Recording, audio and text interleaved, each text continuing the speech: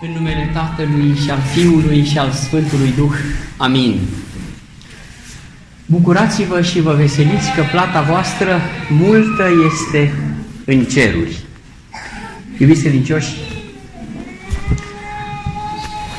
prăznuirea Sfântului Ierarh Nicolae, ocrotitorul Sfântului nostru lăcaș, ne prilejuiește o întâlnire cu Mântuitorul în care acesta, după ce i-a vindecat pe toți care aveau boli și după ce constataseră cei de lângă el că numai atingându-se de el se făceau sănătoși, a început să îi așeze pe oarece coordonate spirituale și a spus Bucurați-vă voi cei ce flămânziți, căci vă veți sătura. Bucurați-vă voi cei ce plângeți, căci veți râde. Bucurați-vă voi cei săraci, că a voastră este împărăția cerurilor. Bucurați-vă și vă veseliți că plata voastră multă este în ceruri. Iubiți credincioși, astăzi, de hramul bisericii noastre, Sfântul Ierarh Nicolae, iată că ne trimite un mesaj frumos pe care Evanghelia de astăzi mi-l aduce. Și anume, din tot ceea ce vedem, există și o dimensiune către dincolo. Atunci când Mântuitorul constată că după ce i-a vindecat pe oameni, aceștia trebuie să se și schimbe, imediat le-a dat un sens al vindecării. Pentru că nu este suficient să vindeci un om, nu este suficient să se vindece un om, ci mai important este ca vindecarea să aducă o schimbare, vindecarea să devină un efect al schimbării. De aceea, în medicina asiatică se spune că înainte de a-l vindeca pe cineva, să-l întrebi dacă vrea să se elibereze de cauzele care l-au îmbolnăvit. Pentru că degeaba tratăm efecte dacă nu tratăm cauze. Și astăzi uh, ni se prezintă un lucru foarte important pentru noi. Mântuitorul i-a vindecat pe toți. A alungat duhurile. Toți au plecat de acolo sănătoși și mulțumiți și totuși Mântuitorul nu a fost mulțumit să-i lase așa, pur și simplu, vindecați, pentru că știa că dacă nu se vor schimba oamenii, dacă nu se vor agăța de cer, vor cădea din nou și poate că mai gravă le va fi atunci boala de care au suferit, pentru că ea se întoarce dacă nu tăiem cauzele care au dus la acea suferință. Acum trebuie să fim foarte atenți că toată lumea la un moment dat caută să se simtă bine, caută să fie sănătoasă, lumea caută să aibă de toate, să nu doară nimic. Și totuși, dacă nu își leagă frumos de cer toate aceste lucruri pe care le poate dobândi, poate oricând să cadă. Este știut că cei care au bani mulți, cei super bogați, cunosc faptul că fericirea nu se poate cumpăra. Ceilalți încă mai adună bani ca să fie fericiți. Acestea sunt niște realități pe care astăzi trebuie să le aprofundăm mai bine. Dar ca să înțelegeți mai bine cam pe unde vreau să ajung, am să vă spun despre cineva care, fiind atât de cuvios și atât de bine plăcut lui Dumnezeu în tot ceea ce făcea, a primit veste de la îngeri că Dumnezeu a hotărât să-l lase pe pământ o mie de ani. La care respectivul cuvios s-a supărat foarte tare și a zis, Doamne, nu, nu îmi face mie una ca asta.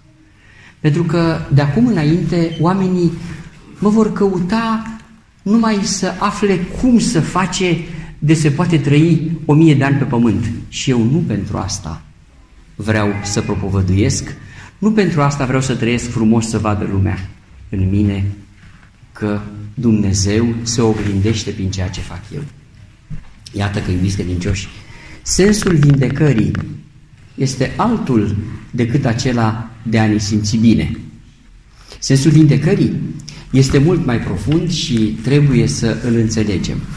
Să vă destin puțin, se spune că odată într-o societate comercială foarte amplu dezvoltată, cu un director, un patron foarte, foarte cumpătat și foarte bine intenționat și pe care îl iubeau angajații foarte mult, într-o dimineață a venit Mahmur și se simțea atât de rău, dar n-a putut să nu vină acolo, pentru că avea obiceiul de a controla el tot ceea ce se face. Da, un obicei în sensul bun al cuvântului. Nu era categoria aia de șef sau de patron care să stea lângă tine să vadă dacă ai respirat în plus de două ori. Și când l-au văzut angajații atât de amărât, au început să-l menajeze într-un fel, dar el a spus, aduceți-mi aici pe cine se poate pricepe mai bine să scap de mahmureala asta că nu mai pot. I-au adus pe cel care se ocupa cu primul ajutor, au adus pe câțiva medici foarte destoinici și până la urmă, când au văzut că deja ajunsese la jumătatea programului și nu se putuse nici măcar limpezi bietul om, a venit de la poartă Nea Vasile. Portarul a zis, da, domn director, patroane, am eu o soluție. Dar trebuie să răspunzi la o întrebare. Ce întrebare? Mă, Vasilică, zi că nu mai pot. Chiar poți să mă ajut, dar sigur că vă ajut. Ce ați băut aseară? Păi whisky. Bun, 200 de whisky, repede. Până să vină băieții cu 200 de whisky, îl întreabă patronul, măi, Vasile, da, dacă nu mă fac bine, dacă nu-mi revin, ce mai faci? Ce mai fac? Păi încă 200 de whisky. Măi, și totuși, dacă nu mă fac bine, păi atunci am mai luat și mâine 200. Și totuși eu zic așa, pun rău înainte, că la cât de rău mie acum, cred că s-ar putea totuși să existe o posibilitate să nu mă fac bine nici până când să iau acest, acest tratament de 200 de whisky pe zi. Ce patroane, până ajungi portar ca mine. Că acum 20 de ani și eu conduceam o companie chiar mai mare decât a Ei, contează foarte mult în ce direcție o luăm cu căutarea de sfaturi? În ce direcție o luăm cu căutarea de sănătate? Și mai ales în ce direcție obținem și folosim sănătatea pe care o primim.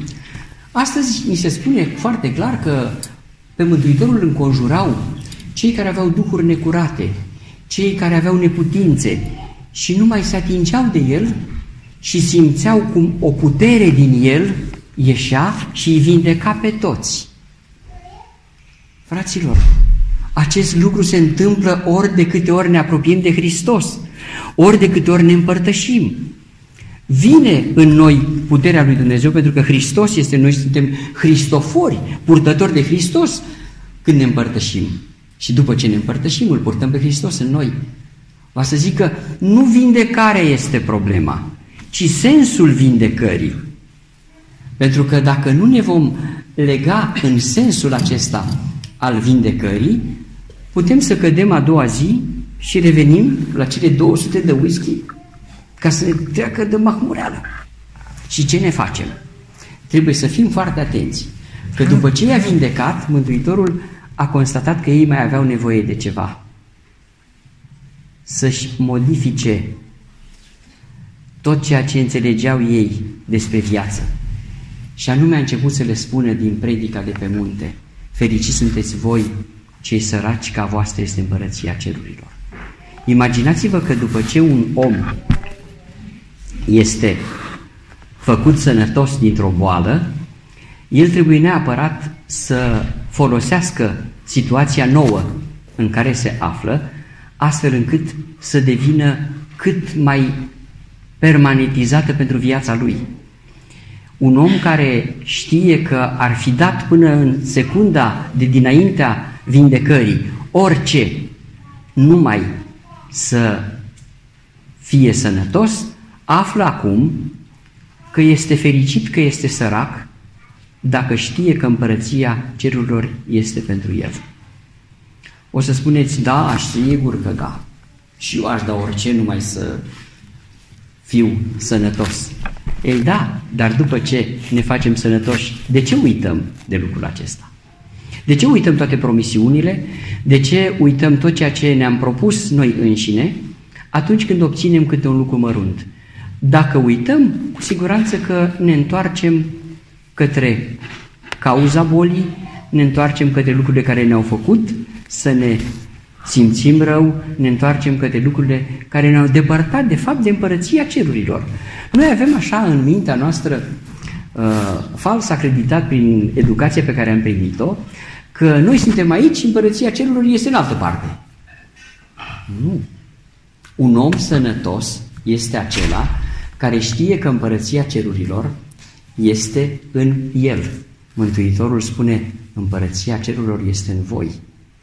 Vă imaginați dacă am fi conștienți că împărăția cerurilor este în noi, câtă responsabilitate am avea și câtă grijă pentru corpul nostru am avea și că nu ne-am mai putea permite să facem nimic din ceea ce lezează sănătatea.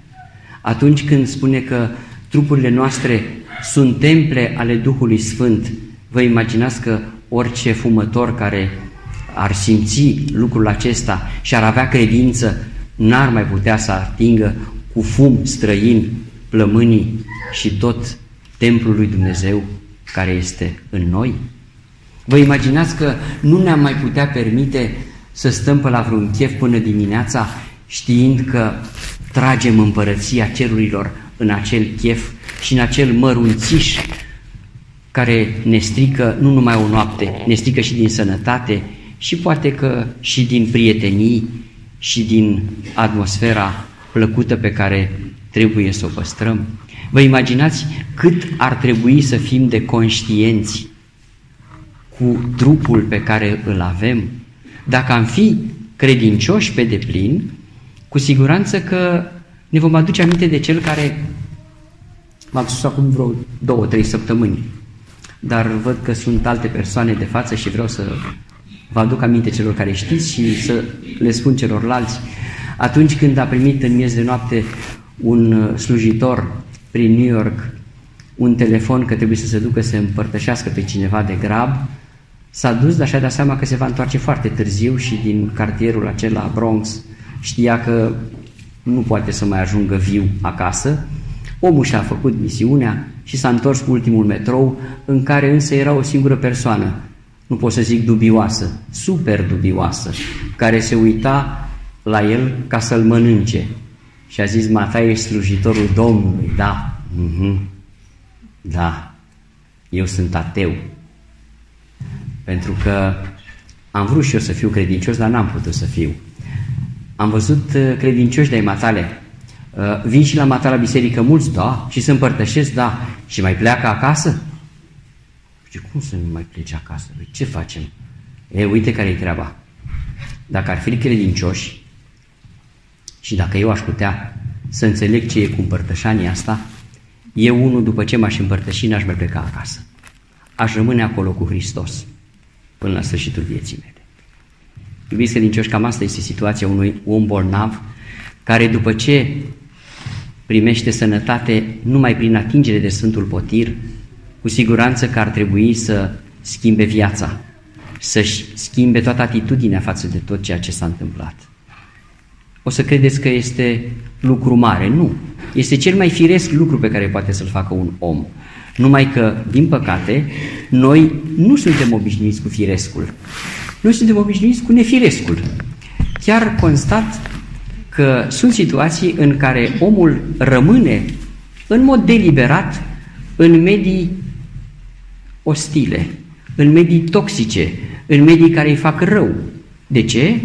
Pentru că fără să-și dea seama, creierul are nevoie de niște reacții, de niște momente în care el să se autocompătimească, să aibă de ce să văieta, că nu e el de vină, că de fapt uh, cu tare sau cu tare l-au făcut să ajungă aici.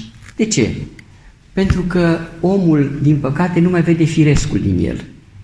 Ce te ține lângă un om care îți strică numele? Ce te ține într-o zonă toxică? Ce te ține lângă cineva care mai mult te încurcă decât te ajută? O obișnuință. Împotriva acestei obișnuințe însă putem să luptăm. Cum? Foarte simplu.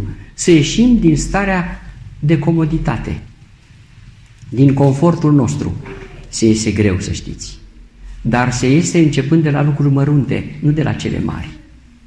Încercați numai un singur lucru. De dimineață când vă treziți, înainte de a vă da jos din pat, încercați să vă faceți un plan. Cum o să vă ridicați? Câteva fracțiuni de secundă. Și o să vedeți că mintea nu o să poată să vă țină ritmul. Și o să vă ridice, dacă sunteți obișnuiți, să vă ridicați din pat. A, că partea cealaltă o să vă tragă la somn, hai că mai stau 5 minute, lasă că mai sună telefonul odată. Nu. Încercați după aia când mergeți la baie să faceți lucrurile puțin inversate. Adică întâi să vă spălați pe dinți și după aia pe față. Orice lucru pe care îl faceți diferit de dimineața trecută, dacă obișnuiți să vă spălați pe dinți cu mâna dreaptă, faceți-o cu mâna stângă și o să constatați ceva, că organismul foarte greu va accepta lucrurile acestea. Și dacă le acceptă, atunci ați învins. Ce ați învins? Ați învins că deja puteți să faceți lucruri pe care să le și controlați. Nu că ar fi rău să lăsați organismul să-și vadă de treburile lui în mod automat, dar ați putea să înțelegeți multe despre propriul creier, despre propria minte, care schimbându-se din lucruri mărunte, poate să ajungă să schimbe și lucrurile mari. Poate să ajungă să schimbe destinul, poate să ajungă să schimbe mediul toxic pe care, iată, din comoditate nu îl părăsim. Nu îl părăsim pentru că noi suntem obișnuiți cu un anumit automatism, cu uh, o anumită uh, nonșalanță de a da vina pe alții, de a avea vinovatul de serviciu, de a spune nu eu, cum a zis Adam de-al minte, nu eu, Doamne, ci femeia pe care Tu mi-ai dat-o, va să zică, iată de unde pornește comoditatea, tot din lucruri mărunte, nu din lucruri mari. Dar ca să ajungem la cele mari, trebuie să vedem unde trimite Mântuitorul pe omul sănătos care s-a atins de el. Îl trimite cu gândul la cer. Bucurați-vă și vă veseliți că plata voastră multă este în ceruri. Dacă noi aflăm, vrem să avem plată de asta pe pământ, vă imaginați că am pierdut și sănătatea și ce am făcut? Am câștigat lucruri pe care nici măcar nu le mai putem folosi. Chiar uh, cunoașteți cu toții acea vorbă a omului, aș da orice numai să fiu sănătos, aș da orice numai să fiu fericit, aș da orice, adică din ceea ce avem, omul ar putea ar putea să facă un schimb numai de dragul de a nu mai avea uh, mintea prinsă în lucruri care sunt obișnuite într-un fel sau într-altul. Iubiți credincioși, Sfântul Ierarh Nicolae, să știți că nu ne trimite nouă niște lucruri străine, ne trimite gândul cel bun. Și pentru că ați auzit despre luna decembrie, că este luna cadourilor, să știți că ea pornește de la Sfântul Ierarh Nicolae, cel care, astăzi fiind prăznuit, ne aduce în minte ceea ce se întâmpla într-o lume săracă în care se zbătea el ca episcop al mirelor Liciei. Și anume când simțea că cineva este necăjit, îl ajuta. Dar nu îl ajuta așa cu pompă mare, cu afișe, cu ne ducem, facem, dregem. Nu, nu, nu. nu. La ceas de seară lăsa câte o pungă de galbe. Ei, dărnicia aceasta a Sfântului Ierarh Nicolae a fost trimisă până la noi în chipul minunatului epitet pe care l-au dat celor lunii în care uh, ne aflăm, luna cadourilor. Este luna în care însuși Dumnezeu l-a trimis pe Fiul Său în lume. Este luna în care se naște Hristos ca să ne mântuiască pe noi. Această dărnicie însă, dacă nu are originea în sufletul nostru, în empatia noastră și mai ales în emoția de a dărui, este pur și simplu o risipă. Dar însă, noi suntem cei care am fost atinși așa de Sfântul Ierar Nicolae prin anii frumoși de hram, cel puțin trecuți împreună, încât am înțeles că a da nu ține de a avea, ci de a fi. Întotdeauna îl avem pe Părintele Arsenie care, venind sărac cu uzunarele goale din pușcărie, s-a întâlnit cu cerșetorul și, simțind nevoia să-i dea ceva și constatând că nu are, probabil că atunci când a băgat mâna în buzunar, o fi crezut, Doamne, îmi faci tu o minune să găsesc eu ceva să-i dau ăstuia, că eu chiar vreau să-i dau. Dar Dumnezeu a zis, cred că, în sine, nu, nu, am să dau o lecție la amândoi. Și nu i-a dat nimic în buzunar. E lecție și pentru noi. Și atunci, Părintele Sine, scoțând mâna din buzunar, i-a întins-o cerșetorului și a zis, ia o mână caldă. Și a mulțumit acela. Așa mână caldă nu i-a dat nimeni niciodată. Și o îmbrățișare. De aceea vă spun, a da n-are nicio legătură cu a avea. Trebuie să dăm, zicea Părintele Sine, din ce nu avem, Tată, să ne dăm pe noi.